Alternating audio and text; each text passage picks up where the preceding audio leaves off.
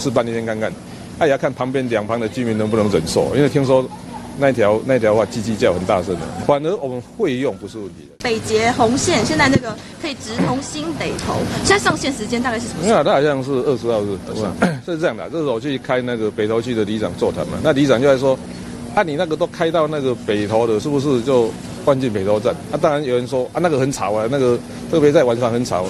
他说，我说那很简单，我们试验看看嘛，哈，就是说从那个那以前知道北投站就停嘛，我们试办一天开到这个新北投站，哦，试看试办一天看看。